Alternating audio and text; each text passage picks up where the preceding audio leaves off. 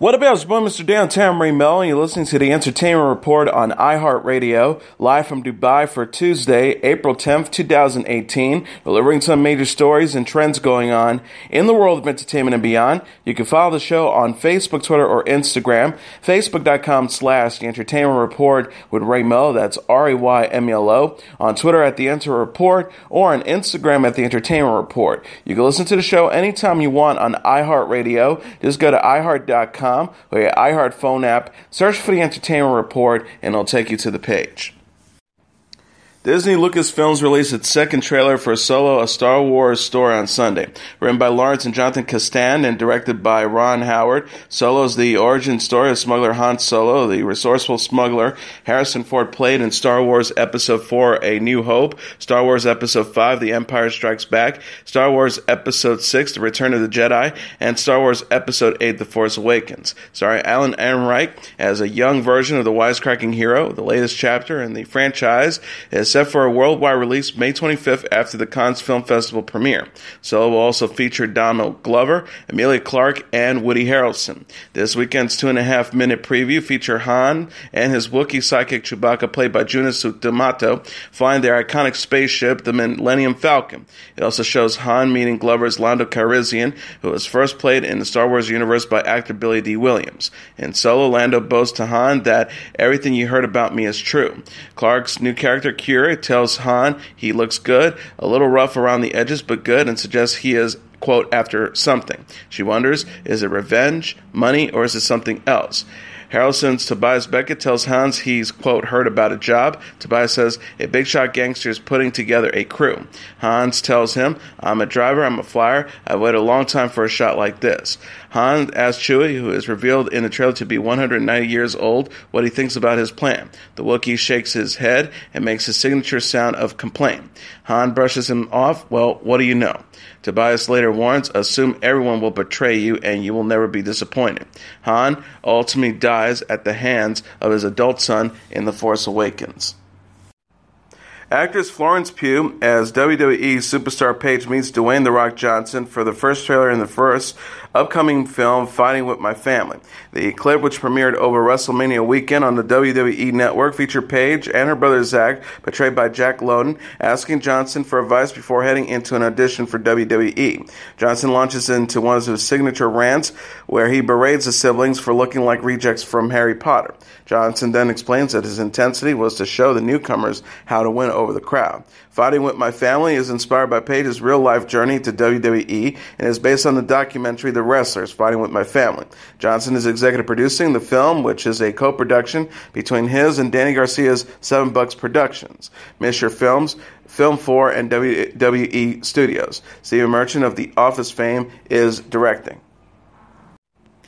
American Horror Story co-creator and producer Ryan Murphy discussed details about season 8 of the anthology series, including who it will star and that it will be fantasy inspired. Murphy teased season 8 during a panel for the latest season of the series Cult, alongside cast members Sarah Paulson, Evan Peters, Cheyenne Jackson, Billy Eichner, Adina Porter, and Leslie Grossman. Murphy announced that all six stars would be returning and gave a timeline for season 8. He said it is set in the near future I will say it is set 18 months from now. Uh, he added, We started getting back to the asylum convent feel. That is the tone of it. And he continued after stating that season 8 will be heightened in addition to being fantasy inspired. Other announcements include that Paulson and Peters will each direct an episode of season 8. Three minority leads will be featured, and Porter is portraying a hairdresser, with Joan Collins appearing as his grandmother, and production will begin in June. American Horror Story season 8 will also star Kathy Bates, who is returning to the series. Murphy also said that he is in discussions with Anjelica Huston for an unspecific role. AMC has announced that season three of their supernatural drama Preacher is set to premiere June 24th at 10 p.m. Eastern Standard Time. The official Facebook page for the series said on Monday, Get your affairs in order and your soul ready. We're coming back alongside an image of star Dominic Cooper as West Texas preacher Jess Custer turning on a light. Preacher, based on the comic book series of the same name by Garth Ennis and Steve Dillon, follows Jess, his ex girlfriend Tula, played by Ruth Negga, and Irish vampire Cassie, played by Joseph Gilgun, as they journey to find God and save the world from demons. Season 3 will feature the trio returning to Angelville, a Louisiana plantation where Jess was, rest, was raised, Deadline reported. Ian Colletti, Graham McTavish, Pip Torrens, Julie M. Emery, Malcolm Barrett are also set to star alongside series regulars Betty Buckley, and Colin Cunningham. Jerry, Jeremy Childs, Liz McGeever, Joni Coyle, Adam Croasdell, and Prima Cruz have recurring roles. Kevin Smith announced via Twitter on Monday that Showtime will air the comedy special he was filming when he had his February 26 heart attack. The 47 year old performer and filmmaker tweeted, The comedy special I was shooting with at Comedy Dynamics the night I almost died of a heart attack has been picked up by at Showtime. Mark your calendars. It airs May 11th on the same network as at Show Homeland. Thank you for the home. Hashtag Showtime.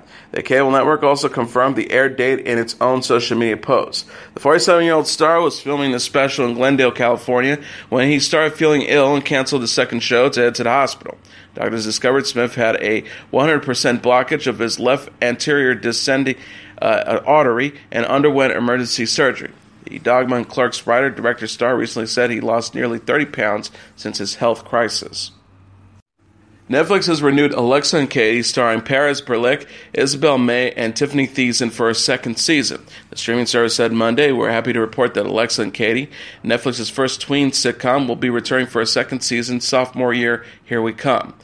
Uh, the synopsis notes Despite the fact that Alexa is un- undergoing cancer treatment, her outgoing personality and enthusiasm for life never faltered, especially with her loyal and awkwardly adorable best friend Katie by her side. At times, they're left feeling like outsiders during a period when what seems to matter most is fitting in. The ensemble of the series also includes Emily Kelly, Eddie Shin, Jolie Jenkins, and Finn Carr. Season 1 is streaming on Netflix right now. Colton Haynes is returning to the CW's Arrow as a series regular for the superhero drama's upcoming seventh season. Haynes will reprise his role as Roy Harper after last appearing in the 15th and 16th episodes of season 6 alongside original cast member Willa Holland, whose status for season 7 remains unknown. Pair were last seen going on a mission to destroy Lazarus pits around the world. Haynes appeared briefly in the first season of Arrow before becoming a regular on the second and third seasons. He also showed up in a guest starring role in season four. Haynes said in a statement, I could not be happier to return my role as Roy Harper alongside my Arrow family. Uh, CW says we're very fortunate and excited to welcome back Colton to Arrow. While we've always enjoyed Colton's return to the show, we couldn't be more thrilled to have him return as a proper series regular, and we're very excited about all the creative opportunities Roy Harper's return affords us. Prince Harry and Meghan Markle would like charity aid instead of wedding gifts. The 33 year old British royal and 36 year old American actress requested in a tweet Monday that well wishers support their charities of choice instead of sending presents. Kensington Palace wrote, Prince Harry and Miss Meghan Markle are incredibly grateful for the goodwill they have received since their engagement and have asked that anyone who might want to mark the occasion of their wedding considers giving to charity instead of sending a gift. The palace added the couple have personally chose seven charities, which represents a range of issues that they are passionate about, including sport for social change, women's empowerment, conservation, the environment, homelessness, HIV, and the armed forces. Harry Markle suggested Children's HIV Association, Crisis, the Myrna Mala Foundation, Scotty's Little Soldiers, Street Games, Surfers Against Sewage, and the Wilderness Foundation. Kensington Palace tweeted, uh, Meena Maha empowers women in the Mumbai slums by providing them with a trusted network, stable environment and employment, and the chance to grow as individuals and business women and break taboos against menstrual hygiene. Uh, the Palace also added, also selected is at Street Games, a charity which uses sports to empower young people to kickstart a cycle of positive change in their own lives. Prince Harry and Miss Markle visited one of the charity's projects together in Cardiff earlier this year. Harry and Markle will marry May 19th at St. George's Chapel at Windsor Castle. The couple support a number of charities and other organizations, including the Invictus Games, which Harry founded in 2014. Real Housewives of Atlanta star Kenya Moore is going to be a first time mom. The 47 year old television personality announced she's pregnant during part one of the Bravo Show season 10 reunion, which aired Sunday. Moore is expecting with husband Marc Daly. She told host Andy Cohen, We'll definitely be welcoming a boy or girl in late this year. Moore was reluctant to share more details, saying she's just hoping for a healthy baby. The star explained, I just don't want to talk about the details. I'm still just very nervous about everything, so I just want to get past a safe place. Moore said in a tweet Sunday night that she is carrying her child herself, not using a surrogate. She also hinted she would like to have more kids in the future. The television personality wrote in response to a fan inquiry, No surrogate, but maybe my next one. Moore and Daly married in June after six months of dating. Moore voiced her desire to have children in an interview with E! News in December after she was spotted visiting a fertility clinic in Barbados. She said at the time, I absolutely want children. My husband wants to have children with me, and we are working on it. I'm hopeful that within in the year, I'll have a little one running around. Part two and three of The Real Housewives of Atlanta season 10 reunion will air April 15th and April 20th second, respectfully. The series co stars Nene Leakes, Kandi Burruss, Cynthia Bailey, Porsha Williams, and Shereé Whitfield. Heidi Klum is getting close to new beau Tom Kaulitz in Mexico. The 44-year-old model and television personality went topless during her vacation with the 28-year-old musician Sunday at Cabo San Lucas, according to page 6. Klum sported black bikini bottoms and mirrored sunglasses as she enjoyed a sunny day with Kaulitz. The Tokio Hotel guitarist was seen straddling kissing Klum as she soaked up rays on her lounge chair. Just Jared reported Klum, uh, Klum and Kaulitz arrived together Sunday in Cabo San Lucas. The rumored couple left the airport with their arms around each other. Klum and Kaulitz were first linked in March after they were spotted leaving a party at West Hollywood, according to Us Weekly. The pair was seen kissing later in the month as Klum took a break from filming America's Got Talent. Klum, who confirmed her split from Vito Schnabel in September, recently went topless for her first ever Maximum cover. The star said in the cover story, Confidence is sexy. There's something alluring about a person that just seems at ease and comfortable with themselves.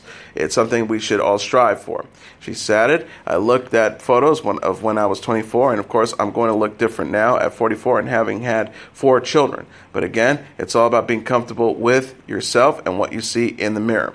Klum is mom to 13 year old daughter Helen, 12 year old son Henry, 11 year old son Johan, and 8 year old daughter Lou. Glee alums Lea Michele and Darren Criss have announced a joint North American summer tour that begins in May. The LMDC tour kicks off May 30th at the Ryman Auditorium in Nashville before wrapping up June 10th at the Sony Central in Toronto. Michele and Criss will also visit Cincinnati, Pittsburgh, Washington, D.C., Indianapolis, Columbus, Eastern Pennsylvania, and Newark, New Jersey.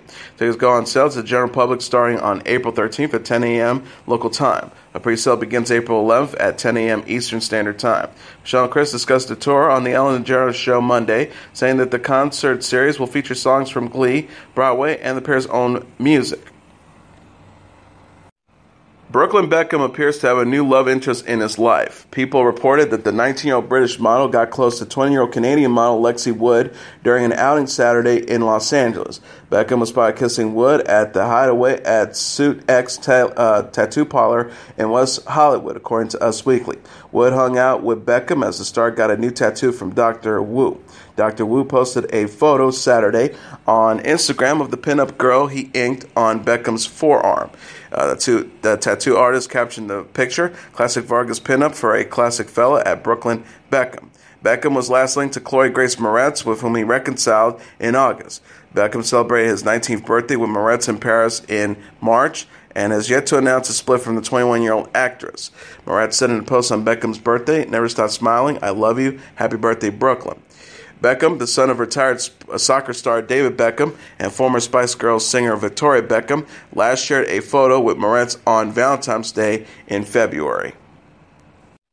Blake Shelton is voicing his love for girlfriend and adopted Okie Gwen Stefani.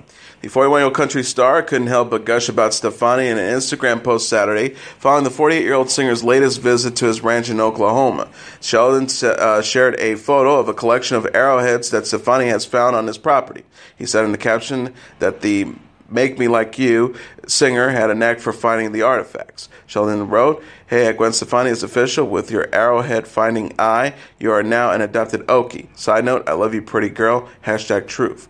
Shelton and Stefani often visit Shelton's ranch in Tishomingo uh, Stefani shares 11 year old Kingston, 9 year old Zuma, and 4 year old Paul with ex husband Gavin Rossdale. Spent spring break with her sons at the property in March. Shelton said in an interview with Today that the same month that having Stefani's boys in his life is a fun and meaningful experience. The country star says, I never saw that coming, but it's so fun. He also added, at this point in my life, I kind of had put that, well, I guess that wasn't meant to be. And then all of a sudden it happens one way or another. And it's like, wow, I really missed out on a lot. So having them around is, I don't even know how to describe it. It's so much fun. Shelton and Stefani confirmed their relationship in November 2015 following their respective splits from Miranda Lambert and Rossdale.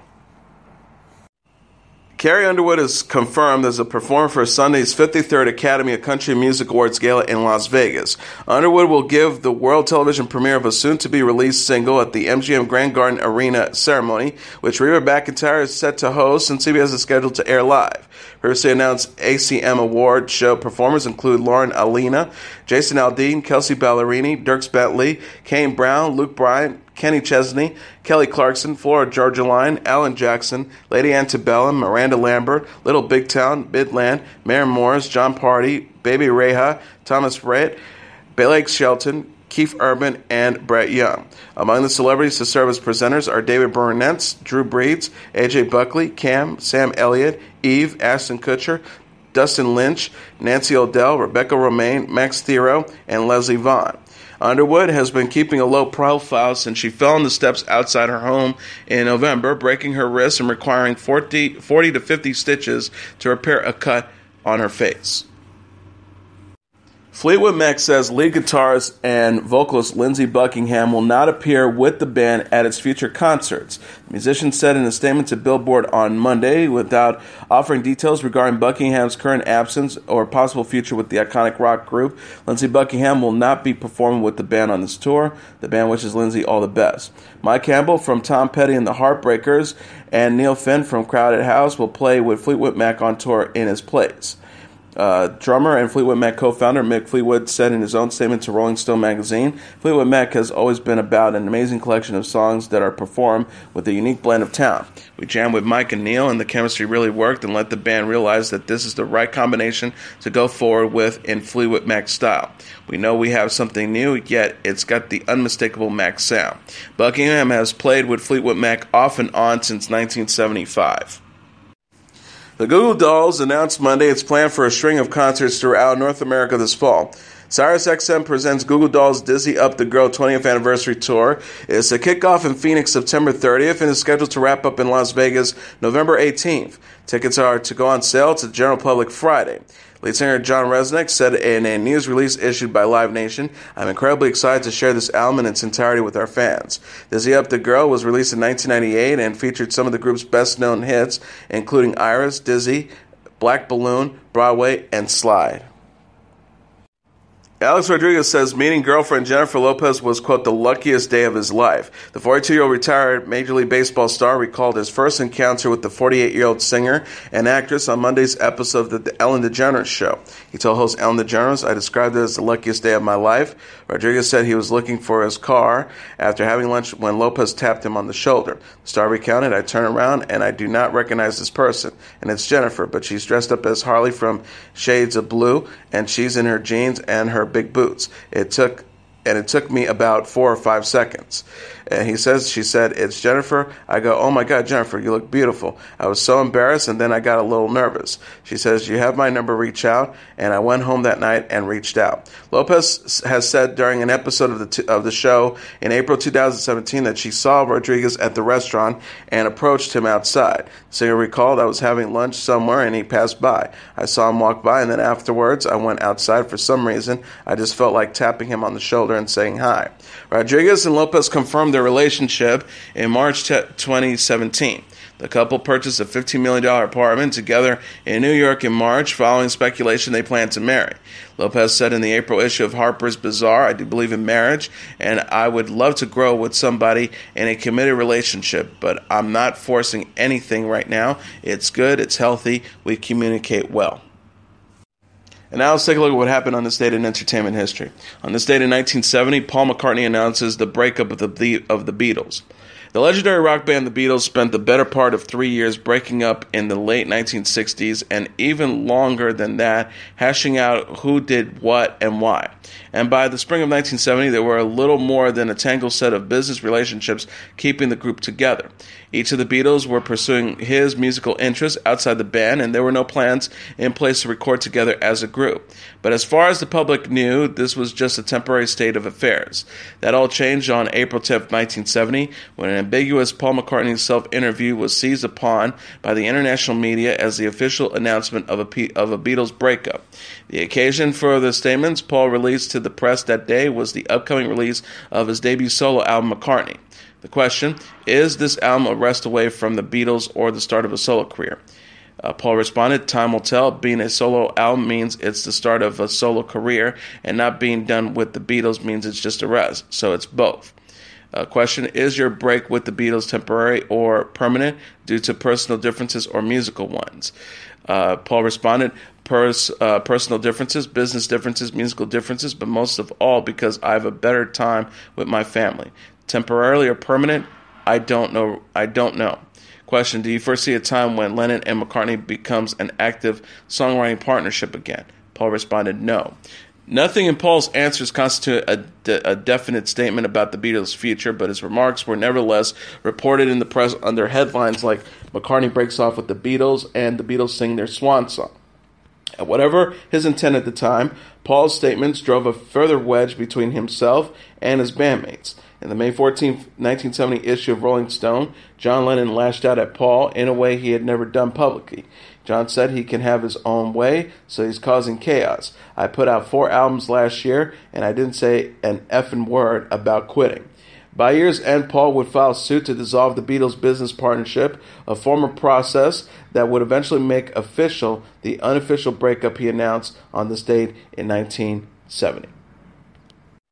Also on this date in 1972, Charlie Chaplin receives an honorary Oscar. As part of his visit to the United States in 20 years, British film pioneer Charlie Chaplin accepts an honorary Academy Award for his incalculable contribution to the art of filmmaking. Chaplin, one of America's most successful movie stars and directors, had left the country under a storm of controversy in 1952. Born in London, England in 1889, Chaplin was the son of music hall performers, and he appeared on stage from a young age. His father later died, and his mother was put in a mental institution, leading to a rough childhood that ended when Chaplin joined his half brother's vaudeville troupe at the age of 17. Mack Sennett, the innovator of U.S. slapstick movie comedy, discovered Chaplin during a U.S. appearance by the vaudeville troupe. In 1913, he was signed to appear in movies produced by Sennett's Keystone Company. In his second picture, Kids Auto Race at Venice, 1914, Chaplin originated the character that would make him famous, the Little Tramp. The tramp wore a derby hat, neatly kept mustache, baggy trousers, and canes, and affected a bow-legged walk in his oversized shoes. He was an underdog hero beloved by moviegoers, and Chaplin would play him in more than 70 films. In the era of silent film, slapstick was king, and Chaplin was a master of physical comedy. He became one of mo- one of the most recognizable U.S. personalities and commanded increasingly high salaries. He soon took on to directing his own movies, and with Mary Pickford, Douglas Fairbanks, and D.W. Griffith, founded United Artists in 1919 so he could have greater control over his projects. Chaplin directed, starred in, wrote, produced, and composed the music for his feature length comedies, including The Kid, 1921, The Gold Rush, 1925, City Lights, 1931, Modern Times, 1936, and The Great Dictator, 1940. These films address social and political issues of the day, which, seen through the eyes of the little tramp, appeared in it a little sharper. After the event of Sound in the late 1920s, Chaplin appeared less often in movies, but his fame continued to grow as his films won new audiences and became recognized as motion picture classics. Away from the camera, Chaplin's personal life often drew sensational headlines. He was married four times, three times to his leading ladies, and in 1943 was accused of another woman of fathering his her child. That year, in another controversial move, he married Oona O'Neill, the 18 year old daughter of playwright Eugene O'Neill. Chaplin was 54. Chaplin's political views were also criticized as he was failure to apply for U.S. citizenship. Pressed by back taxes and accused of supporting subversive causes by McCarthy era America, Chaplin left the United States in 1952. Informed that he would not necessarily be welcomed back, he retorted, I wouldn't go back if, there if Jesus Christ were president, and surrendered his re entry permit in Switzerland. He lived with his family at Corsier-sur-Vevey, Switzerland, and made several more films. In April 1972, he did return to the United States for a visit and accepted an honorary Oscar. He had previously won an honorary Academy Award in 1929 for The Circus in 1928. In 1975, Queen Elizabeth II knighted him. He died on December 25, 1977. And that is your entertainment report for Tuesday, April 10th, 2018. I'm your host, Mr. Downtown Ray Melo. I'll be back tomorrow to deliver some major stories and trends going on in the world of entertainment and beyond. You can follow the show on Facebook, Twitter, or Instagram. Facebook.com slash The Entertainment Report with Ray Melo. That's R A Y M E L O. On Twitter at The Enter Report or on Instagram at The Entertainment Report. You can listen to this episode or any previous episodes of The Entertainment Report anytime you want on iHeartRadio. Just go to iHeart.com or your iHeart phone app, search for The Entertainment Report, and it'll take you to the page. Good night, and God bless you all.